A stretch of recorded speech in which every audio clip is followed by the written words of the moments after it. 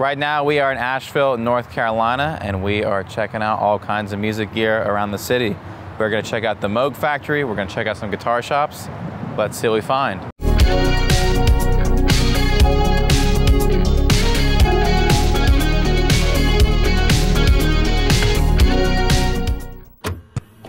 So right now we are in Asheville, North Carolina. We are in town for the guitar show that is happening this weekend, but we came up a little early and we are going to do some perusing.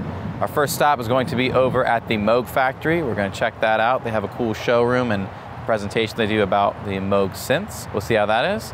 And then we are going to check out a few guitar shops, maybe a record shop, get some coffee, have a good day hopefully. So come along for the journey.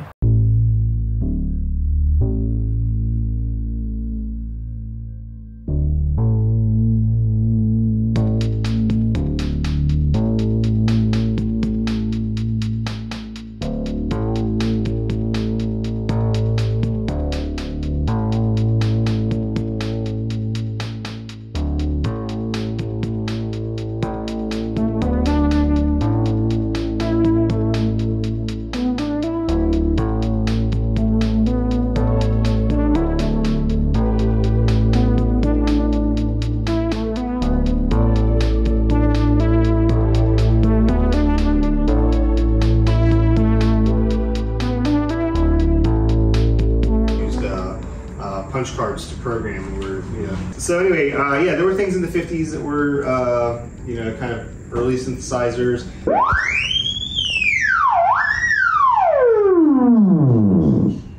So uh, there's two antenna. Uh, one on the left controls the volume. So if I want to play a note, I pull my hand away. And then the one on the right controls the frequency. And there's basically like a, an uh, electromagnetic field around each one. Or I could take that same signal, pull it out of the filter, go into the uh, pitch.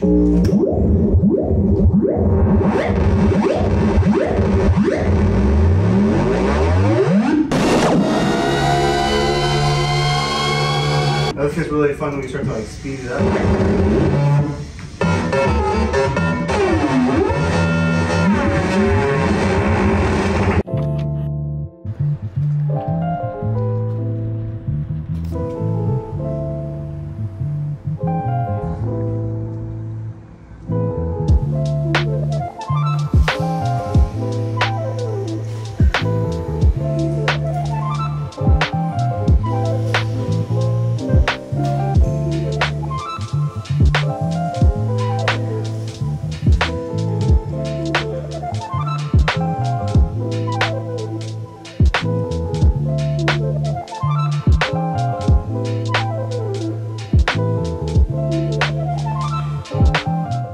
Just wrapped up the Moog shop tour. We got to see a really cool presentation about the history of Moog.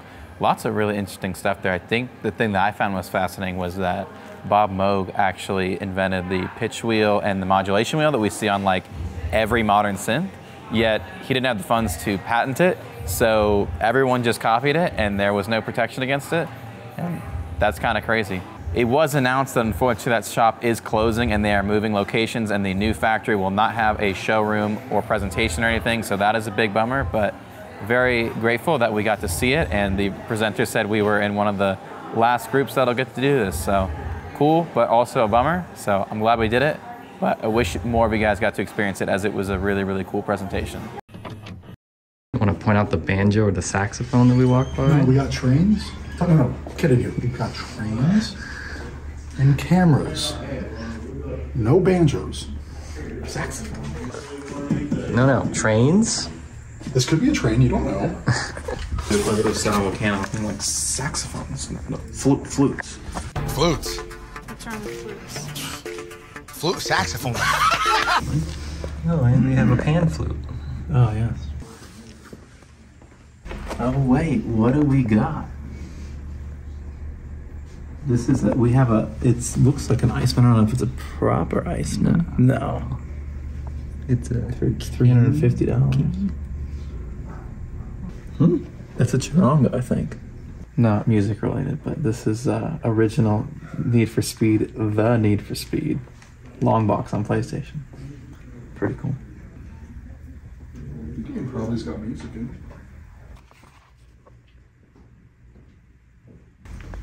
Oh, that phone strat copy. These are, uh, they're nothing special, but they're not too common either, so there you go. Two sound coils. What else do you need? What year do you suppose it is? I'm guessing 80s?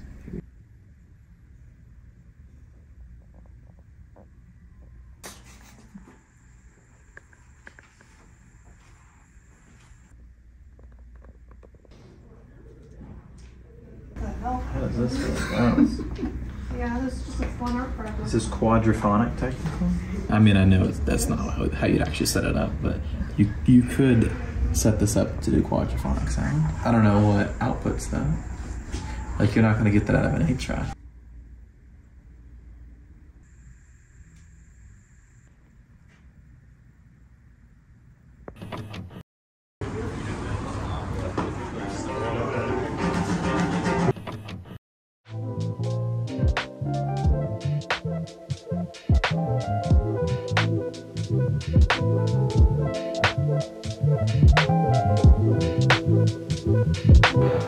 I'm real interested in this Juno.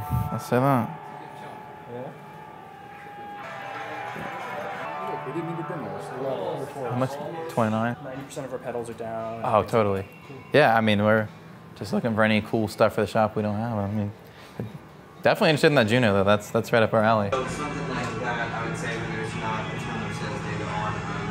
it's, you know, it's kind of just a Fresh find. Juno 106. When one leaves, one appears.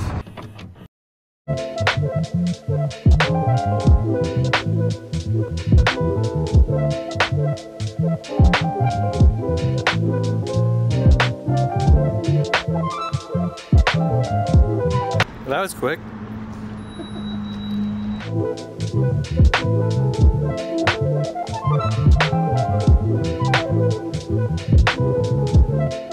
Friend Jason. Yeah. brought me over here and was like, "You gotta check this stuff out." Oh, that's awesome. We've never been here before, so we're, we're kind of in the middle of shooting a video.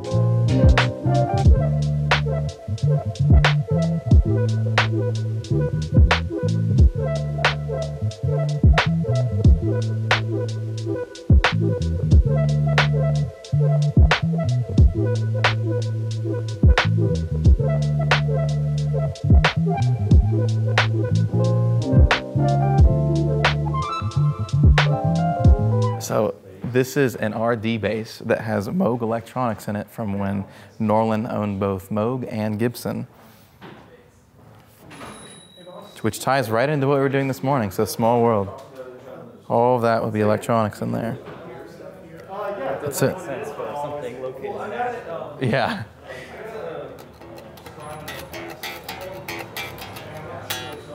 RDs are hard to find on their own, but an RD with Moog Electronics is uh, wow. Even even still get the thumb rest. Japanese made PB51 precision bass, so that's cool. No, I'm a big fan of that. It's an American Showcase Strat, if I'm not mistaken.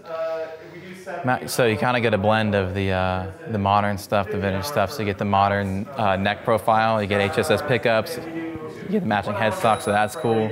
Kenny, tell me about these. So these, the romantic ones, is my love. I love old parlors, and then once I got into the romantic style, which is just you know anything made between like early 1800s up into like the late early early 1900s, and it's this kind of style body. But these ones I import from Eastern Europe. This one's my prized possession.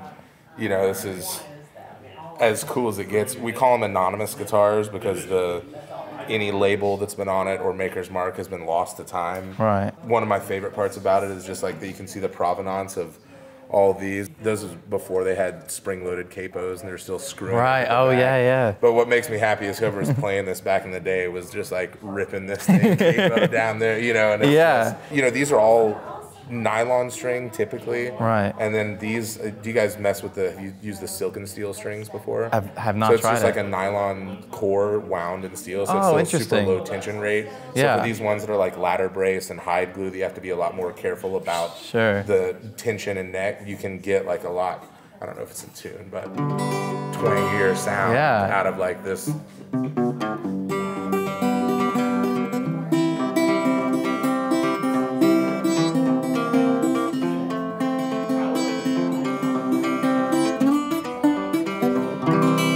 such That a sounds cool, awesome. Yeah, resonant thing. Yeah. And you know, it's, I hate to admit this, but it's like I've taken this fucking guitar camping. Right. Yeah, it's like 160 year old instrument. Like mo- people pick it up and like treat it with baby gloves. I'm like, this thing is a player. it's meant to be played. It's like, yeah, I mean, it's, you're welcome to Dude, I would- I would love to. Yeah, it's a, a cool Wow. instrument. It projects so much. I know, for so, being so tiny.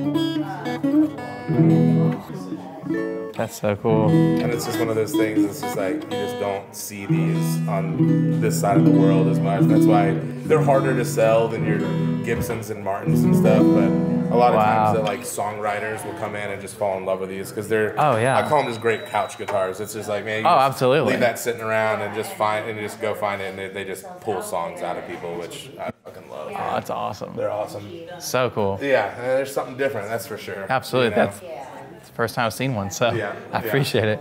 You have a great spread of stuff here because you've got this I've never heard of. Then you've got stuff where you're all the way down the rabbit hole with like the, The- Fender Japan and the Aria. And the, yeah, I love it. Yeah, we have It's a good so cool. You know, those kind of like our our two big like mission statements, for lack of a better term, of the shop, or what I was telling you, having a place that people really feel you know comfortable and welcome and want to come in and really try the instruments out. And then a big thing too is we just wanted stuff that you can't go pull off the wall at fucking Guitar Center and stuff. You know, Absolutely. we want something that's you can come in here and it's like stuff you've never seen before. Even someone Right. like Yeah, you that y'all do this like we do, and it's still stuff you're like, oh, this Oh, is yeah. fucking different. And Always weird, nice to you see something unique. Yeah. it's fun. Dude. we have a good time. Thank you very much for having us, and thanks for too, being here. I Yeah, appreciate you. stoked, man.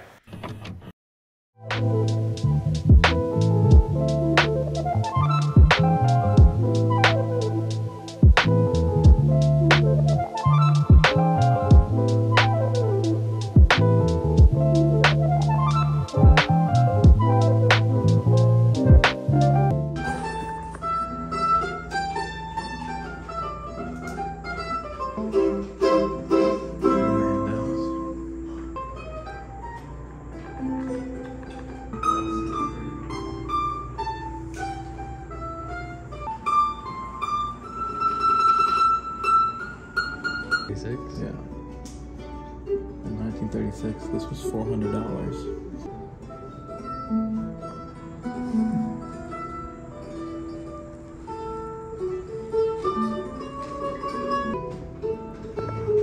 I have one these right now.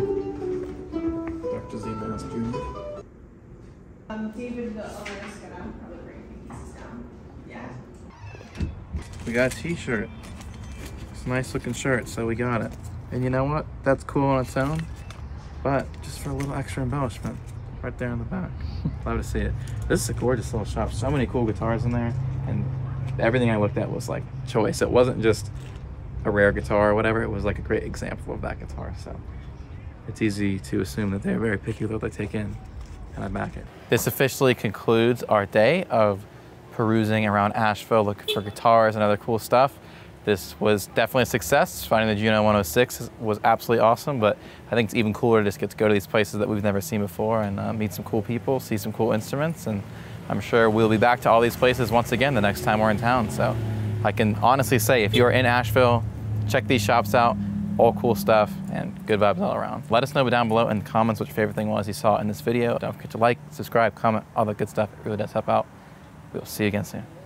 Bye.